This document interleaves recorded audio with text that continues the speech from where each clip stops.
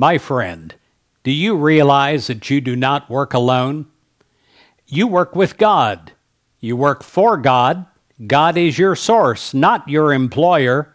And your genius, your ability to excel, comes directly from God. God works through you. I pray this week that you're entirely aware of the process of God working through you. I pray this week that you have added confidence, a thousandfold confidence, because you know God is working with you. You do not go into your job alone.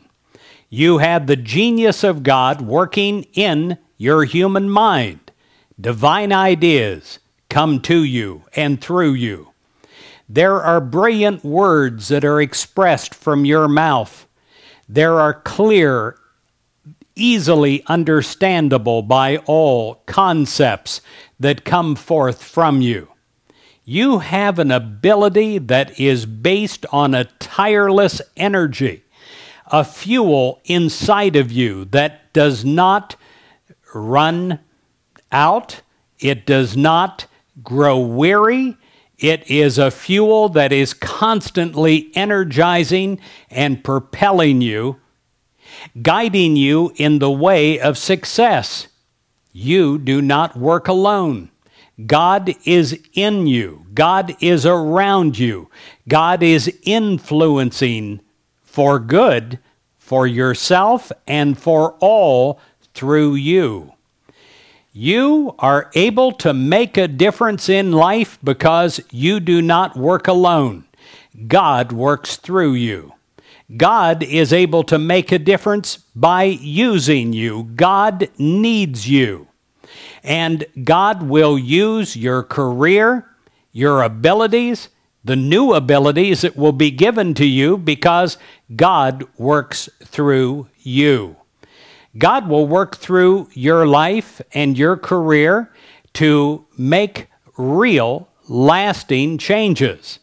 As God works through you, we pray that ever expanding reward and financial security can come to you. You will be rewarded for your efforts of not working alone.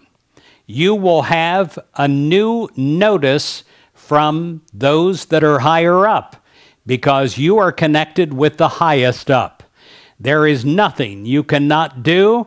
There is nothing that will be asked of you that you cannot comprehend, understand, and perform with excellence because God is the inventor of everything.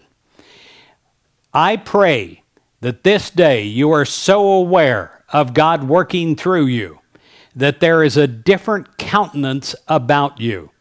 There is a different confidence inside of you. There is a new understanding that knows that you are equipped. You have what you need. This confidence is on a firm foundation of your understanding spiritually of who you are how you were created, and how you're being recreated in this day on your job. You do not work alone. I decree this, and you decree this, knowing this to be the case. And it is so in Jesus Christ's name. Amen.